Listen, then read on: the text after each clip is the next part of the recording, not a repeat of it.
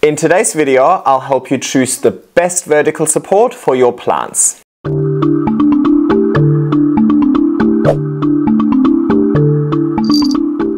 Hi everybody and welcome back to my YouTube channel. I love growing climbing plants and when it comes to providing them with support, we have many options available. But when it comes to choosing the best option, there are a few things that we need to consider. First and foremost, we need to consider the plant, we need to consider the conditions that you're growing the plant in, and we need to consider you, the plant parent. How much effort are you willing to put into this hobby? Based on this criteria, we know that there's not going to be one answer that's going to suit everybody because we're all different in our approach to plant care.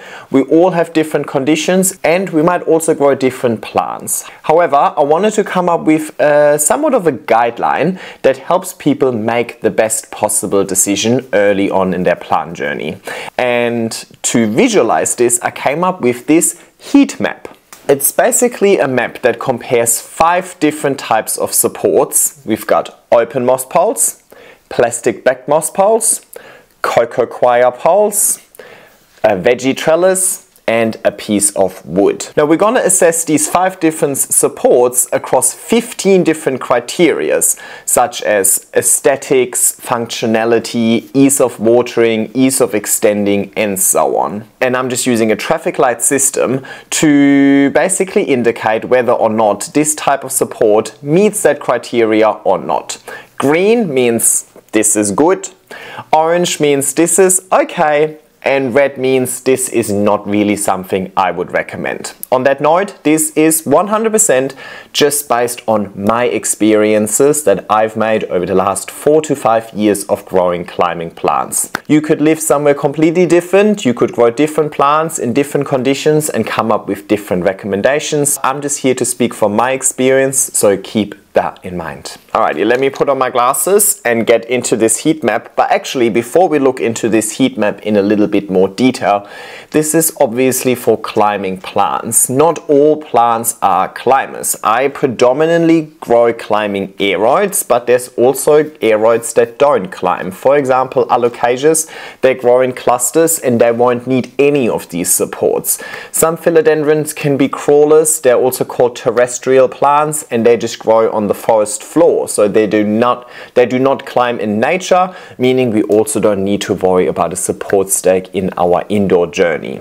At the end of the day, we're always aiming at growing plants as closely as possible to their natural growth pattern. So these plants around me, Monsteras, Epipremnums, another Monstera, Philodendron, Actually, another Monstera. Syngonium. Oh, another Monstera. Do love my Monsteras, clearly. But mainly Monsteras, Philodendron, some Anthuriums, Syngoniums, and so on. Um, those are climbing aroids. Those are the ones that I like to grow. But there's also other climbing plants. So some climbing vines, Hoyas can climb, and so on. But first and foremost, Everything discussed in this video is around climbing plants. So if you're not sure what the growth pattern of your plant is like, I would always just recommend Googling a mature version of your plant. So if you Google mature alocasia, for example, you'll see that this alocasia isn't climbing higher and higher and higher. The alocasia is just growing bushier and larger, but it's not actually climbing. So the whole reason why we're adding a support into our pot indoors is to mimic a tree that these plants would climb up uh, in nature or a vine that they would climb up on in nature. I wanted to quickly look at all of these supports in a little bit more detail as well so we're all aware of what we're talking about. So first one is my moss poles that I like to make myself. We're going to refer to them as the open style moss poles going forward. They are basically just a wire mesh filled with moss and that is it. So very, very simple. Secondly, we've got plastic back moss poles like this one over here. So I've got a plastic backing and the mesh at the front and it's just filled with moss. So very similar to the open style moss poles, just that there is a plastic backing uh, on one side. I don't have a coco coir pole over here because spoiler alert, they're useless. I stopped using them about four years ago and I didn't really want to purchase one just for the sake of this video, so I'll just insert a photo so you know what I'm referring to.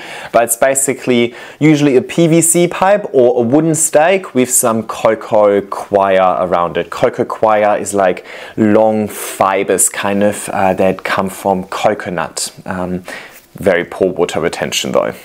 Next up, we've got a trellis. So something really simple like this over here. This one was for veggies. I used this to grow some tomatoes during summer.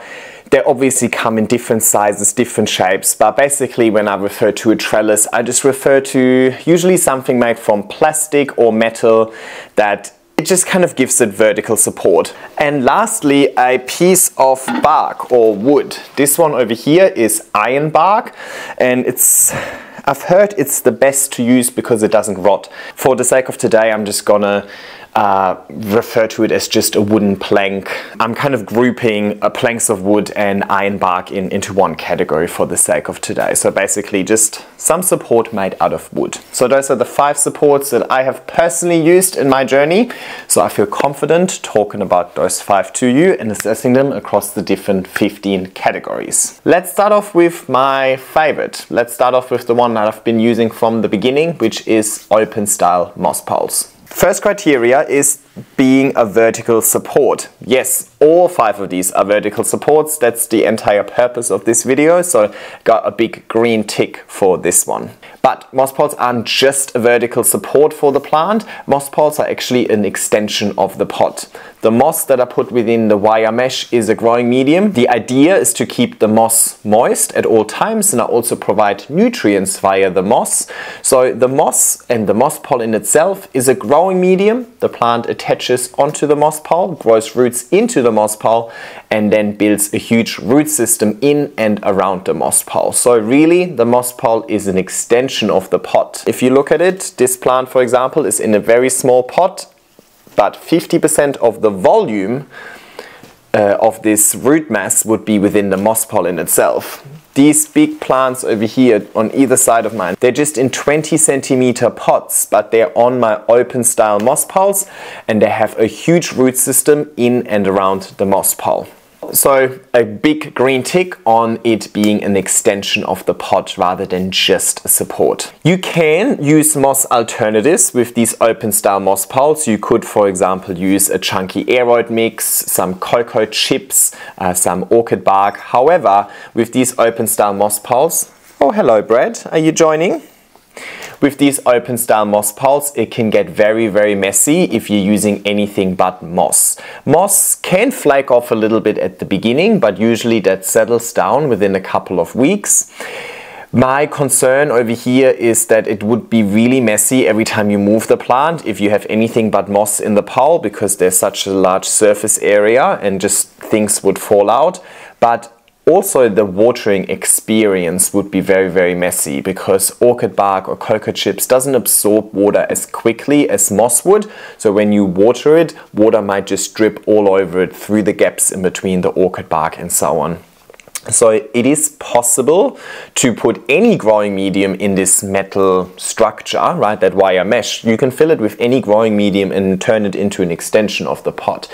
But with the open style moss pole, I'm just a bit concerned about the mess, so I'm giving this a yellow. I touched on this, the whole concept is that we are watering the moss pollen, truly treating it like an extension of the pot. So I have a really easy technique of watering my moss poles, which is just taking a water bottle and flipping it upside down and letting gravity do the rest. So the ease of watering for these open style moss poles is definitely a green tick because it's as easy as it can be when it comes to watering a vertical support. When it comes to the water retention, however, the moss pole is challenged in the surface area that it it has. I mentioned before it has a large surface area because, well, there's only that little bit of mesh that's holding it all in place. The larger the surface area, the faster it will dry out especially if the moss pole is situated in a fairly uh, dry environment. If you have it in a greenhouse, for example, with really high humidity, then this might not be a concern, but if you're growing indoors and specifically you know that your relative humidity indoors isn't the greatest, then this is definitely something I would consider. So water retention is a yellow for me. On the flip side though, that large surface area ensures that there's great aeration and plants love aeration, roots seek oxygen, so these moss poles actually provide great aeration for these roots. And with the aeration also comes a reduced risk of any mold issues and or fungus gnats. The plant can very easily attach itself. Roots seek moisture, so if you're keeping the moss pole moist and the plant is happy and healthy and growing, the plant will find its own way up the moss pole and attach itself. You can use the mesh as like a little grid to kind of pin the stem where you want it to go as well, so there is some aesthetic aspect to it as well.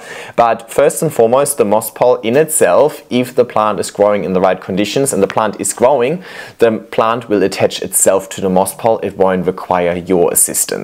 Now, I mentioned that the plant is growing up the moss pole, growing a huge root system within the moss pole, and that then unlocks full propagation benefits. By the time the plant reaches the top of the moss pole, each node has already created a root system within the moss pole, so I could now chop in between every single node, and every plant is already air layered. So it's basically a perpetual air layering process while growing the plant in the first place. So propagation benefits for open style moss poles are definitely a green tick which then very closely relates to the chop and extend process. The chop and extend process is where I take a full plant, so these big plants on the left and right of me over here for example, they're on two of these moss poles that are stacked on top of each other.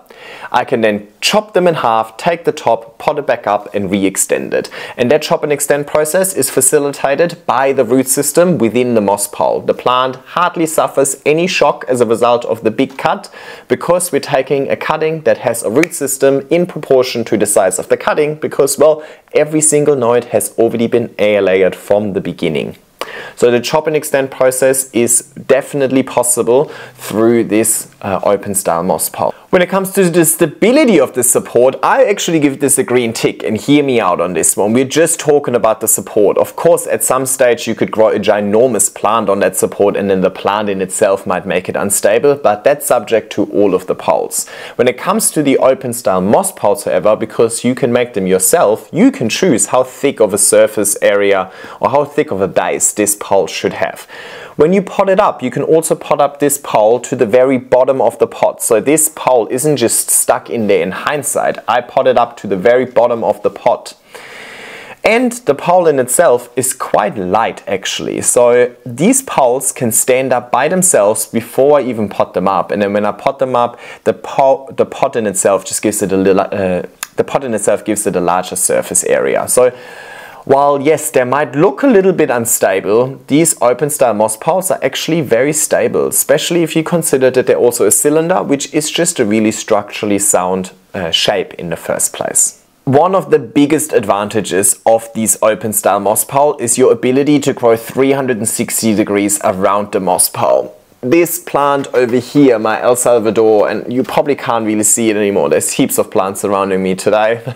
um, but this plant is actually growing 360 degrees around the moss pole. So it could be a plant that I want to grow in the middle of a room or over here, half of the plant is facing the window, which obviously it wants to face because that's where the light is coming from.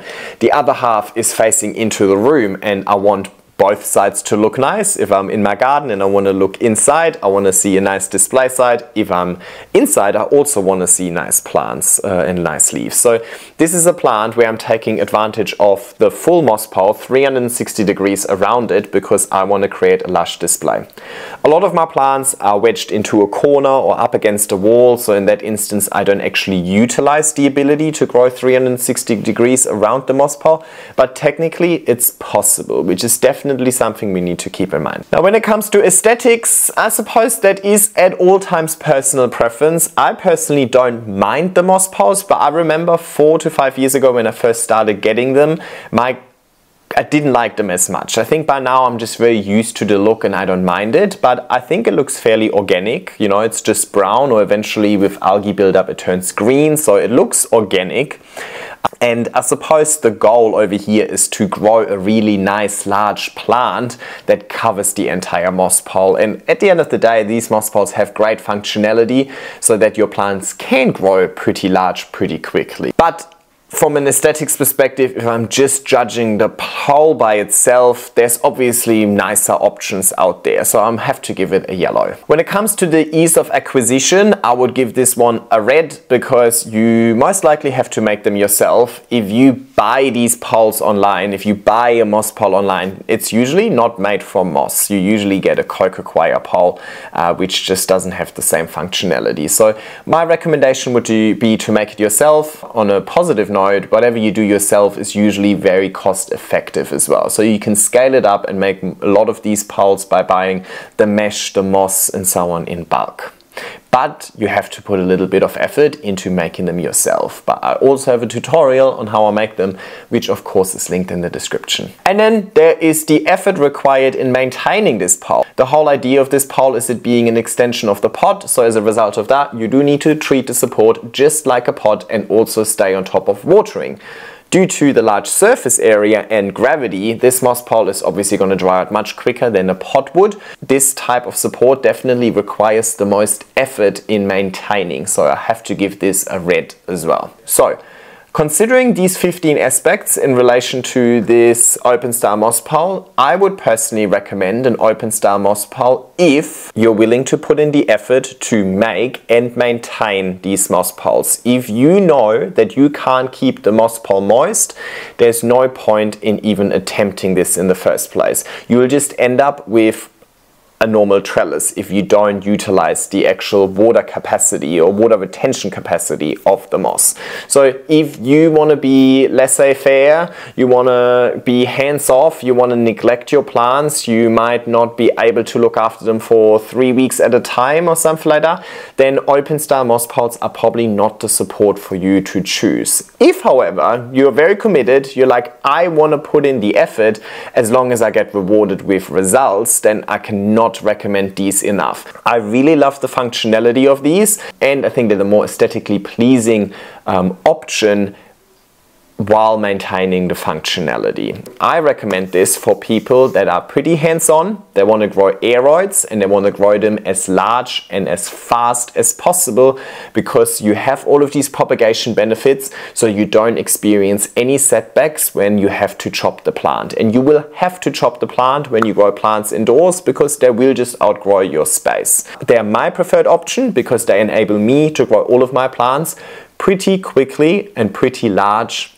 while also looking nice and I can just make them myself fairly cost effectively if I compare that to having to purchase supports. So they are definitely my favorite, but I can understand they're not everybody's cup of tea, specifically if you don't have enough time available or if you're growing in really, really dry environments where they can just dry out way too quickly and keep you too busy. Which is a good segue into the second type of support, the plastic backed support. Now I use Grow Vertical, which is a company, um, a local company over here that my friend Tim is running and I linked them in the description and I've got a discount code and there is international shipping as well.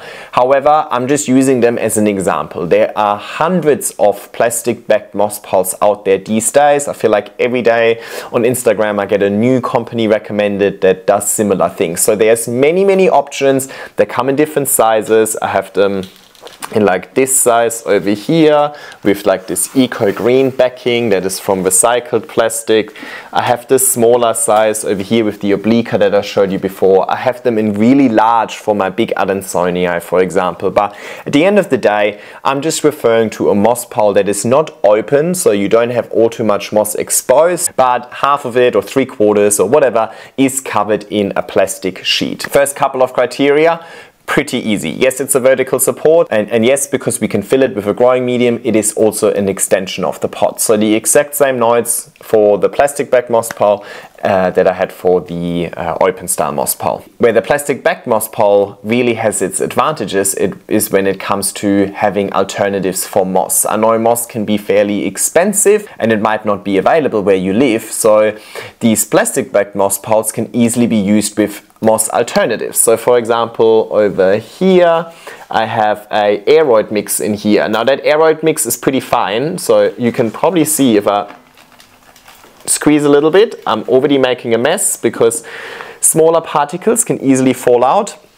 but with the plastic backing that is reduced as much as we can. So I have used these plastic back moss pots with aroid mix, with just bark, with just coco chips and all of them work. However, my personal preference is moss. I'm having the easiest time watering it and my plants also seem to like it the most. But it is certainly the most useful of all supports when it comes to finding moss alternatives. When it comes to watering the exact same process, I can also just flip a bottle upside down and let the water slowly drain through the moss or moss alternative. Keep in mind if you use a moss alternative, it is still a messier watering experience, but the plastic backing kind of keeps everything in, in check. Another huge advantage of these plastic back moss pots, and I suppose that is why most people prefer them over the open style moss pots, is the water retention. The plastic backing drastically reduces the surface area of the moss pole, so the water retention of that moss pole is much higher. So that's a really big consideration if you're trying to grow these plants in lower humidity environments. My humidity averages around 60%, so I'm fine with the open style moss pots that don't dry out all too quickly, but if you're growing in maybe 30% humidity, I would highly recommend the plastic backing. On the flip side though, that means that the plastic back moss pole has less airflow and less airflow can technically cause fungal issues or fungus gnats. Now I personally haven't had that issue even with my plastic back moss poles, but I know about based on the questions that I get quite frequently, I know that this is definitely something that people struggle with. People struggle with airflow as it is in an indoor setting, and you then closing up a lot of your moss pole makes that issue even worse. Just something to consider. Be a little bit more conservative with the watering when you have a plastic style moss pole, but I suppose that also suits people that don't want to be too hands-on with their plants at all times. On that note, I've also seen a lot of people kind of taking the open style moss pole and then putting cling wrap around it basically has the same effect but it just looks a little worse. Very concerned about mold when it comes to these cling wrapped moss poles. Um, airflow is not a bad thing but I understand that it keeps you busy. The plant can also attach itself. These plants just naturally grow up and they'll find their way into the growing medium especially if you keep the growing medium moist. Roots are attracted to moisture so again Again, you don't usually need to do anything to kind of fix the plant to the pole. Now, because the plant can attach itself and then grow roots into the growing medium that we filled the pole with, all of the propagation benefits are the exact same as we experience with the open moss pole.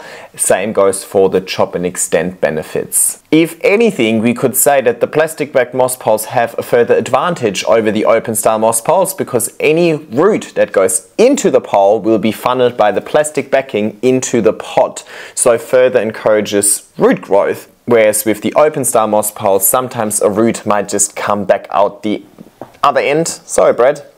A root might just come out the other end. On that Monstera, it's pretty crazy. I'll show you with B-roll. Um, so we could say that the plastic back moss pole with the funneling effect uh, kind of further optimizes root health and root growth and as such actually has even more propagation benefits. But the principle is the same between both of them we're establishing a root system within the moss pole. We're basically air layering the plant as we grow it up the moss pole so that by the time it comes to chopping it, whether that's for a chop and extend or whether that's for propagation purposes, uh, we can rely on the existing root system. We don't need to root the plant first. The plant can just keep growing straight away. These plastic back moss poles can of course also be extended, but it is also subject to what kind of pole you are purchasing. I have seen one that was a little bit let's say alarming. I haven't tested it myself, but I found one online where the pole didn't just stack into each other, they kind of twisted into each other, which I think will be a bit of an issue when it comes to performing a chop and extend or propagating a plant later on because you would essentially have to twist the plant around and twist all of the roots within the pole.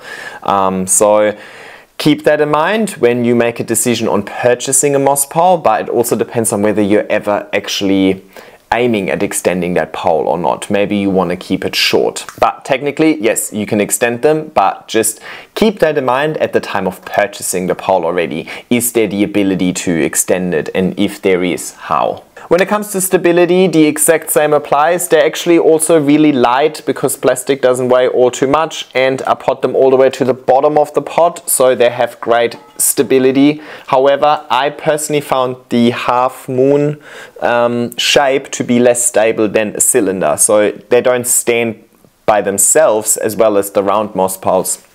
But once you pot them up, I haven't noticed any issues when it comes to stability.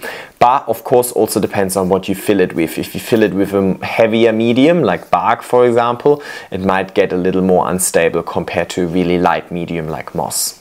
Now, probably the biggest downsides of these plastic back moss poles are the next couple of criterias. Well, first of all, because half of it is plastic, you can't grow a plant all around 360 around the moss pole. You can really only grow them on one side, which at times is actually preferred. If you have this sitting against a wall or I hang them against my greenhouse and so on, you don't want the plant to grow on the other side. You actually like the plastic backing in that instance. So that's good, but keep that in mind. You don't have the ability to create nice lush displays to go in the center of a table or the center of a room, for example. And of course, where we have a window like this, for example, the plant will want to face the light. So I should really position the leaves facing this way, which means that the plastic backing would face into the room. So when I'm inside, I'm just going to look at plastic basically. So when it comes to aesthetics, that's probably the biggest downside. We are looking at plastic sheets essentially, which just doesn't look as nice. I think this more natural look of the moss pole, especially once it gets a bit of algae buildup, is aesthetically much more pleasing. And I suppose that aesthetic aspect, and aesthetics is a huge driving factor in my plant collection. That is why my personal preference is still sitting with the open style moss poles. Ease of acquisition, super easy. I've seen them even on Temu these days, on Amazon. I think there I could probably name at least 20 different uh, stores that have a similar product available. So I don't think this is news to anybody. I think we've all seen these sort of plastic backed moss poles around. There's obviously some small differences, but at the end of the day, as long as it's a vertical extension that we can fill with a growing medium, they all should do okay, let's say, right? So it should be pretty easy to get your hands on one, but it still requires a bit of effort in maintaining that. You're still supposed to keep the medium that you fill the pole with moist at all times and so on. So there is still some um, there's still some effort required when it comes to um, continuous maintenance of that pole. Um, but it won't require as much effort as the open style moss pole because it just has better water retention. That concludes the plastic back moss pole. So obviously there's more commonalities between open style and plastic uh, back moss poles than there are differences. At the end of the day, the thing that they've both got in common is that they're a vertical extension of the pot and they're filled with a growing medium the real advantage of the plastic back moss pole is that they're less effort when it comes to maintaining them because of the higher water retention and the ability to use moss alternatives. So if you have less time available to water or you're growing in a really dry environment or you don't want to use moss, then I think a plastic back pole is a safer option for you. But of course, you need to be okay with the aesthetic downsides to them. I have started using a lot of plastic back poles, but I mainly use them in spots where I know that the plastic backing won't bother me, or for example, outdoors. I have um, because there's more airflow, harsher conditions, so they dry out quicker. I also started kind of making a hybrid. I started making these round moss poles, but just put a plastic sheet on, in, on the inside uh, when I make them, so that they still have that water retention, but I kind of prefer this round style pole aesthetically. So it's kind of like a bit of a compromise. Anyway, alrighty, let's move on to number three, the Coco Coir support. And I don't have one here, but I'll pop in a photo. Yes, it is a vertical support, it is a vertical structure. However, Coco Coir is not a growing medium. Coco Coir will not absorb water and nutrients, meaning that, meaning that the plant will not grow roots into the Coco Coir. It might have some aerial roots and it might somewhat anchor itself to the Coco Coir pole, but it won't grow water roots into the pole that can then absorb water and nutrients. So we're not contributing to the root system over here we're really just giving it that vertical support. So green tick for vertical support, but it is a harsh red when it comes to extension of the pot. Now, because it's not an extension of the pot, we don't need to worry about moss alternatives. There is no alternatives. We're not using a growing medium in that pole and we don't need to water and we don't need to worry about ease of watering because you're not supposed to water these coco coir poles. Water retention of that coco coir is absolute like non-existent and I suppose that's why we're not looking at it as an extension of the pot. However, great airflow, right? I mean, the air can very easily circulate around that coco coir and so on. So it might encourage some aerial roots over there. These aerial roots can also help the plant uh, kind of anchor itself. Yes, the plant can attach itself to the coco coir pole, but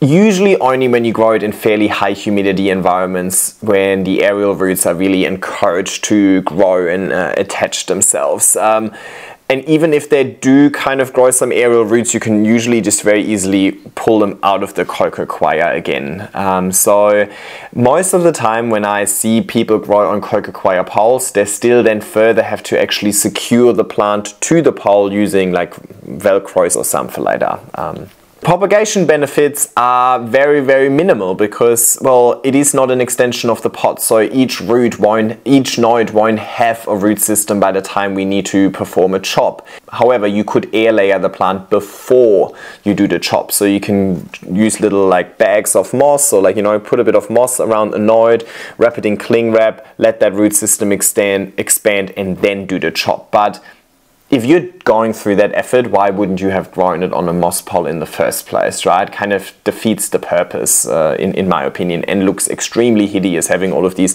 clunks of moss everywhere. But um, each to their own. So the pole in itself has no propagation benefits, but I gave it a yellow because, well, you can air layer while it's on that pole as well. But anyway.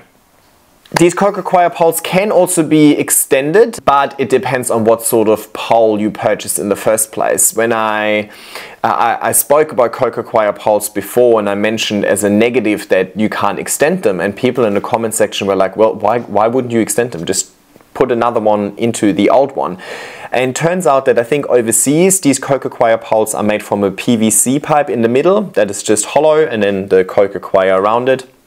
Over here, the ones I always uh, purchased back in the days, like five years ago, they had a solid wooden stake in the middle, so you couldn't really just chuck another one on top of it. So maybe keep that in mind by the time of purchasing the coco coir pole. Does it have like a PVC pipe in the middle where you can just chuck the next one in there?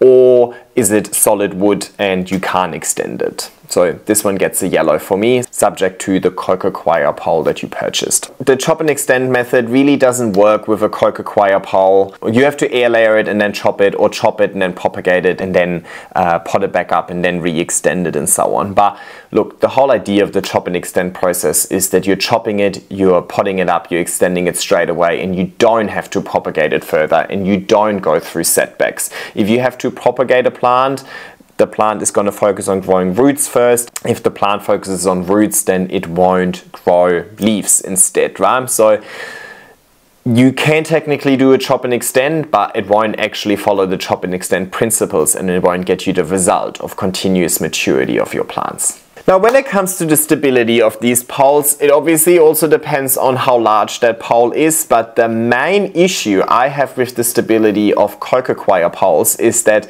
you don't pot them all the way to the bottom of the pot. They usually come with like a little stake, right? So the bottom, I don't know, 10, 15 centimeters of the coco coir pole don't have the coco coir on it, they're just a PVC or wood, and then you just chuck it in there in hindsight that's never going to be stable.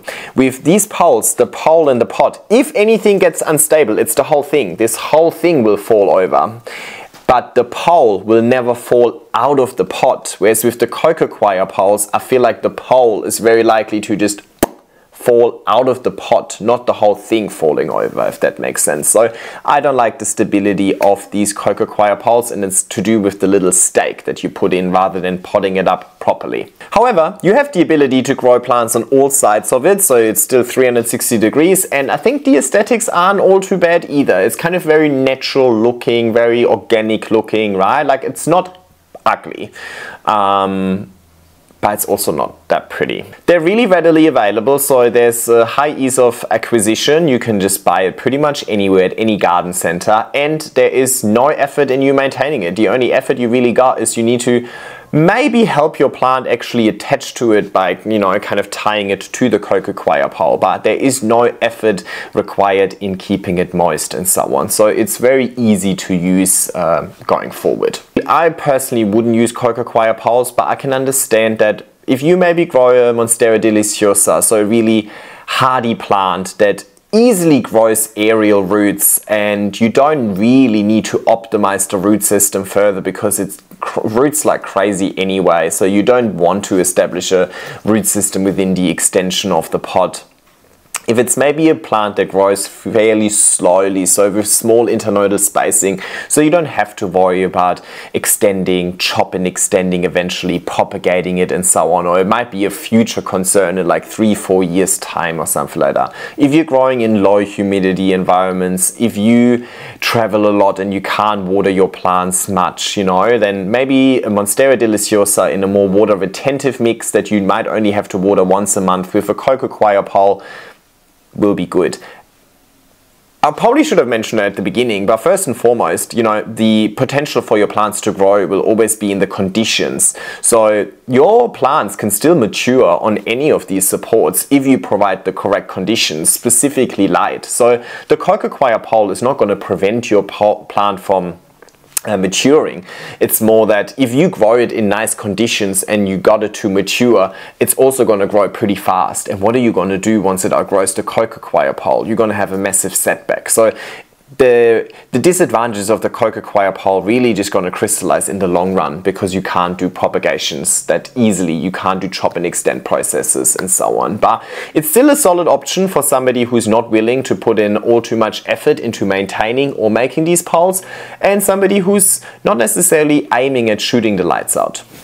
Alrighty, next up we've got the trellis over here. And of course this is just again one example of a trellis. There's many, many different tre trellises, tre trelli, I don't know, out there. Um, and yes, they are a vertical support, but they are certainly not an extension of the pot because, well, metal or plastic or whatever this trellis might be made out of is not a growing medium. So nothing is gonna attach to this and absorb water and nutrients from the metal. Which obviously means that, well, the ease of using a moss alternative or the ease of watering is irrelevant because you don't need to do that because it has no water retention in the first place. However, great airflow.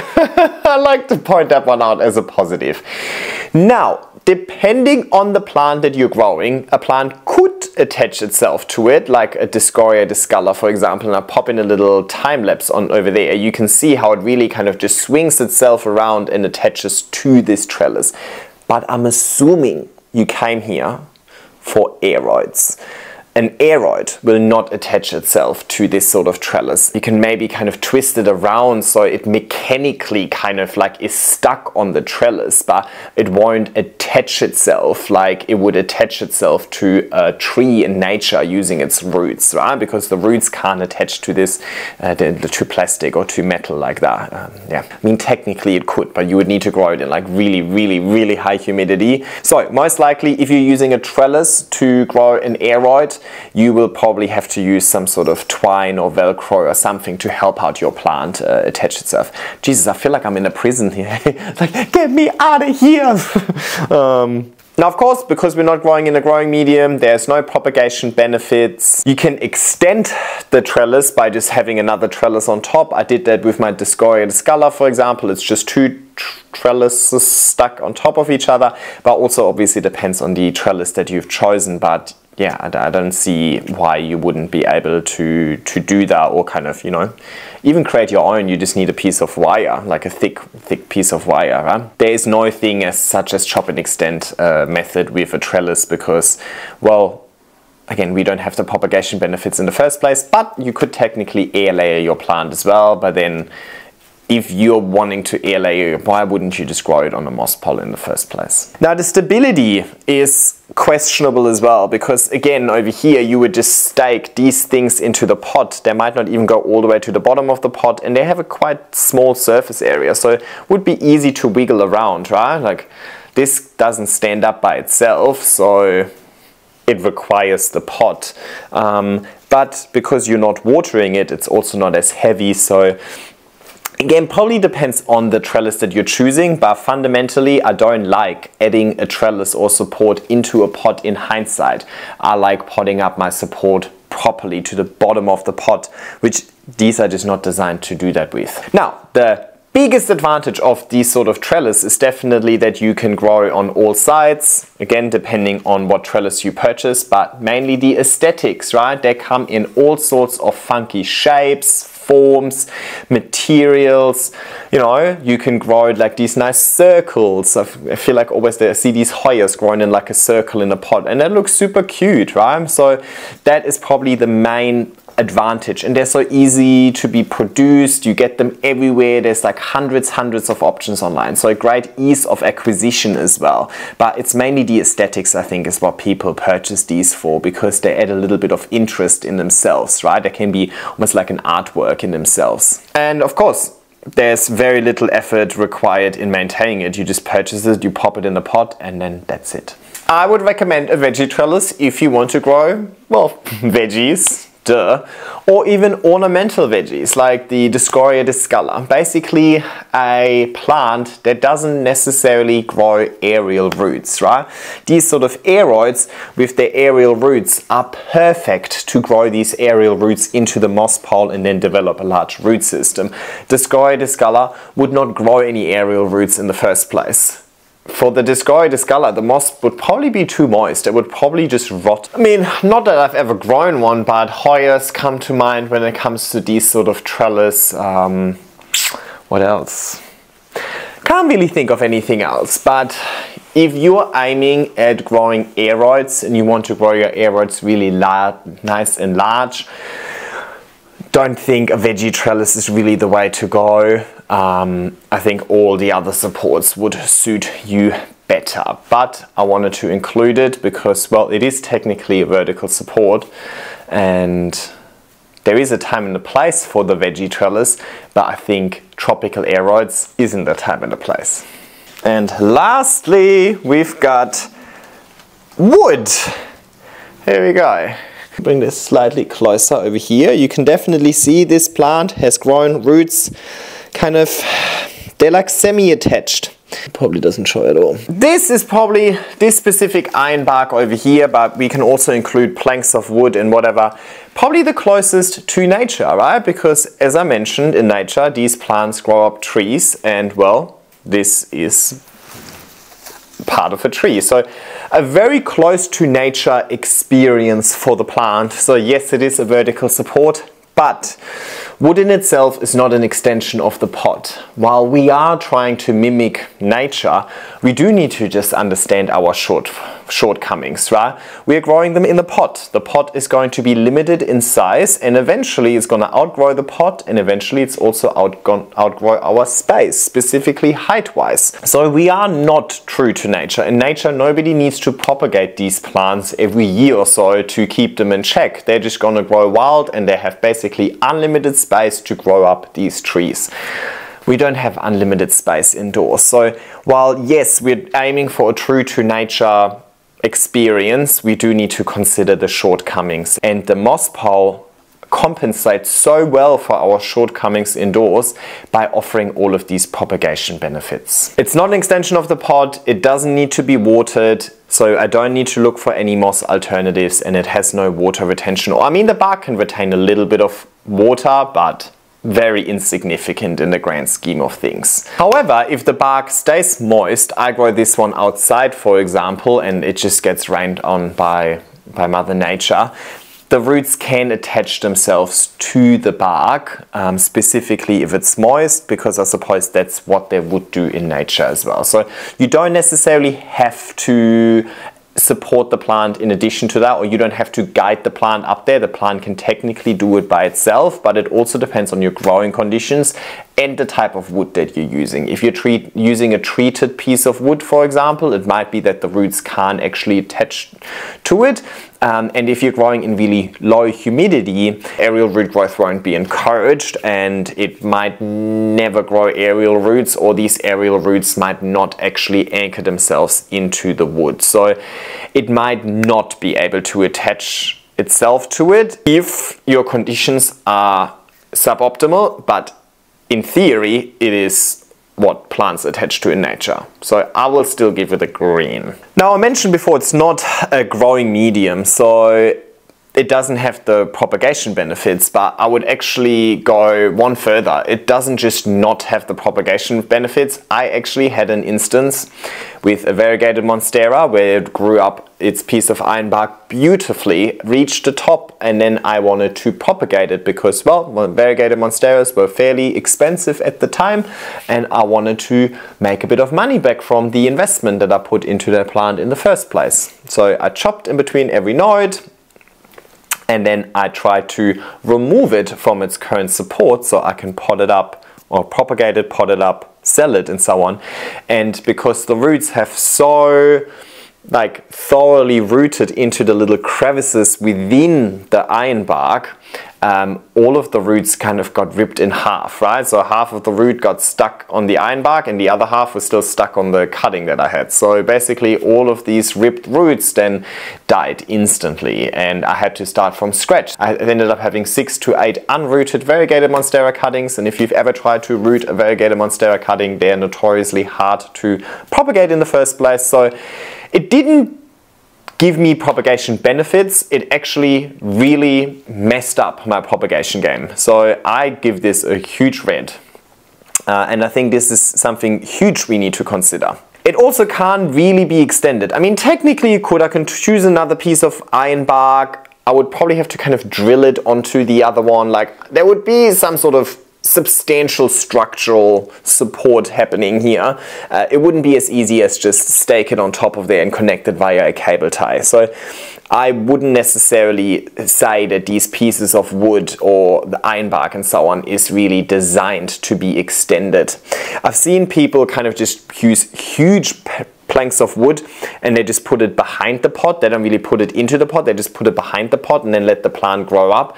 But that also means you can never move it ever again. Like if the plant is growing on a plank and the bottom of the plant is attached to a pot, but the plank and the pot are not connected, then aren't you just at some stage just going to rip those two apart? I don't really know.